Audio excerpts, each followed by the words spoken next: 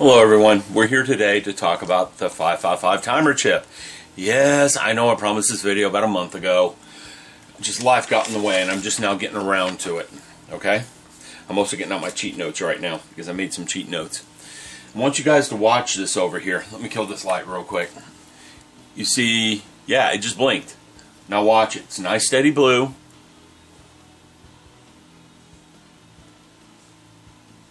And blink. That's called a reverse strobe. I'm going to explain how to do that in a little bit. I'm calling it a reverse strobe. I don't know what anyone else calls that. I'll, I'll show you how to do that in a little bit, okay? It's one of the things that 555 can do that the 4060 can't. So let's start talking about the 555. What are its merits? What is the bad parts about it? You know, what's it good for? Stuff like that. All right. Now, I want to make a disclaimer right now. I am not an expert at electronics. I'm a beginner. Okay? I studied the 4060 chip enough to know what I can do with it for lighting a model. I'm sure there's many other things you can do with that thing. I know you can get it to produce music, tones, stuff like that. I don't have any interest in that, so I don't know how to do that. I just know you can. Same thing with this one. There's a lot to be done with the 5.5 timer chip. In fact, I remember being in high school getting a model book and there was a schematic for making a blinking circuit with a 5.5 timer. I got a friend of mine in high school to make it and I paid him for it. I still have that circuit around here somewhere. I don't know where it is, but I know it's in this house. I saw it about a month ago. Okay? I still have that book too. But anyhow, getting into this, that disclaimer is just telling you I know what this will do in terms of model building. Beyond that, I don't know. Okay? And I know it has a lot of other uses and stuff like that. So let me get the light back on here. Now, let's start talking about what it can do and some of its problems. It can make things blink. I can change one resistor out here and this thing will start blinking. Okay? Instead of what it's doing now.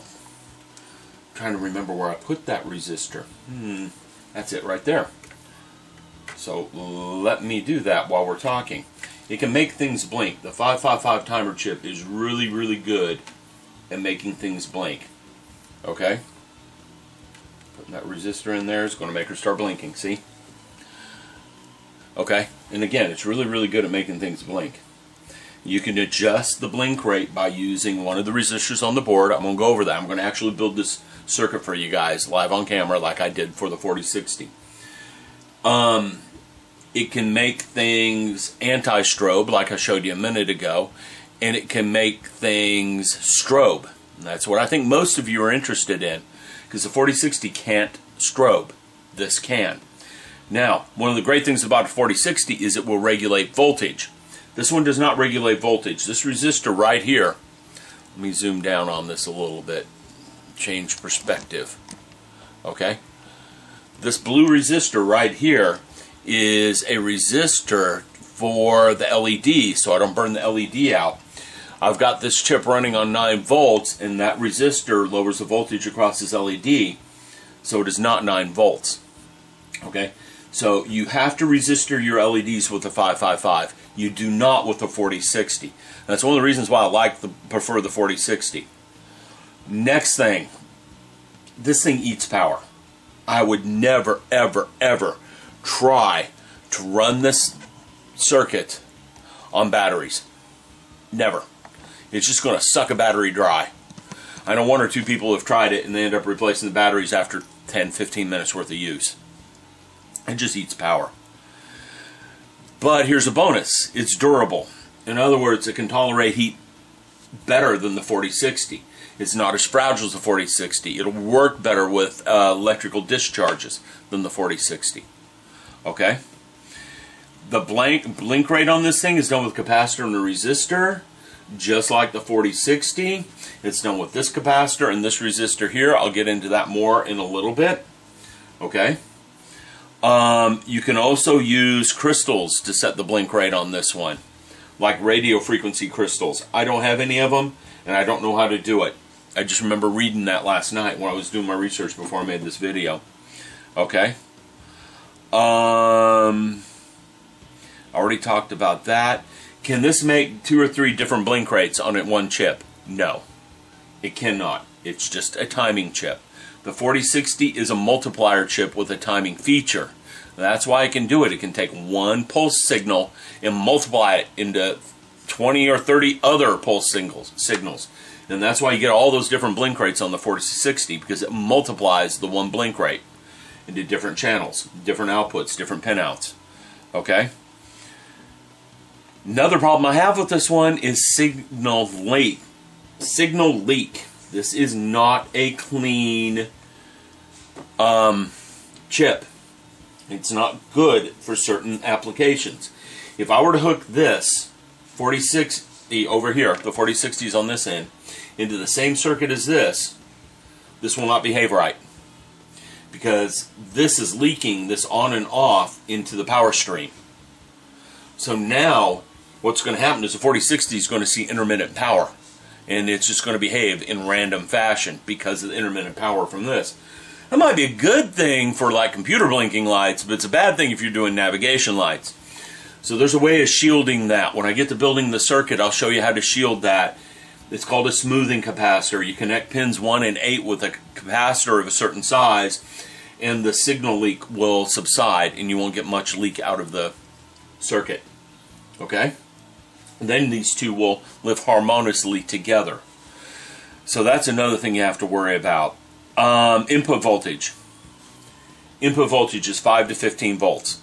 Anything from 5 to 15, this thing will work. I'm on 9 volts right now because I originally designed the circuit for 9 volts and I know that resistor's for 9 volts on this guy right here. Okay?